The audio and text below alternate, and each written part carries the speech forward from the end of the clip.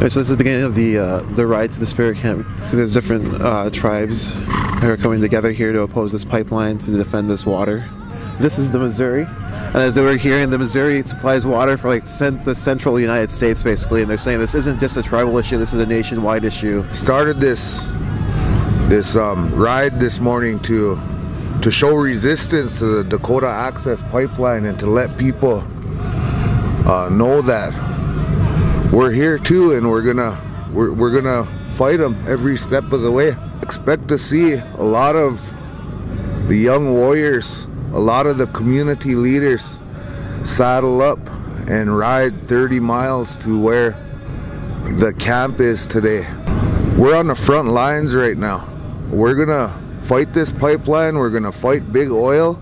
Um, here to oppose the Dakota Access Pipeline they, they bust, they don't last. And we know that's what's going to happen to our river, pollute our river, and then that's it for us. That's our way of life. It's not good any way you look at it. We're riding in protest of the, the Dakota Access Pipeline. It's going to affect everybody.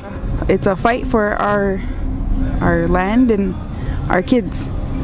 If this pipeline that goes through, if it contaminates this water, this water is going to be dangerous for everybody from here all the way down to the Gulf of Mexico. We can live without oil, but we can't live without this water. How do you wash your dishes? How do you wash your body? You get the water from the river. And once it's contaminated and bad, you know, it's going to be bad for us as people. All too often, uh, public policy, uh, national policy takes place with, without us in mind if that pipeline goes through, uh, if it breaks, or when it breaks, they always say, that uh, this is all going to be ruined. Not too many places in the world are are safe and pristine anymore. As far as I know, there are a lot of other tribes that are here in solidarity with us. Good to see so many riders.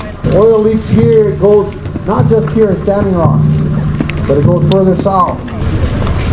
Today you truly are warriors. You're on the front line. You're the first ones, if you will, to stand up for all of our people.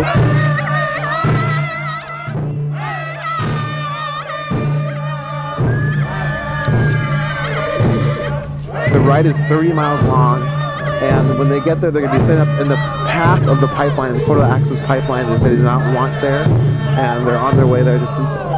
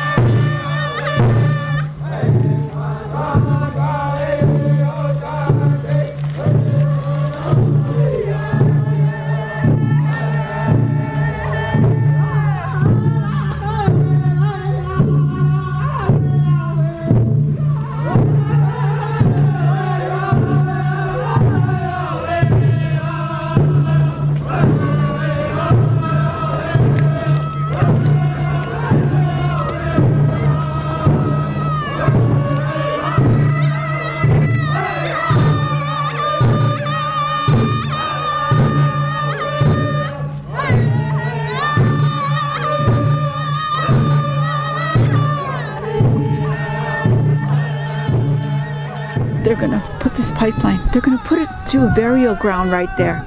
What happens when that breaks? What happens to this? What happens to our water? It's, it's like the same old story with the government and the agencies and big oil. We, are, we don't matter. They're coming again. When will it stop? I am not expendable. My grandchildren are not expendable. We have to fight to live.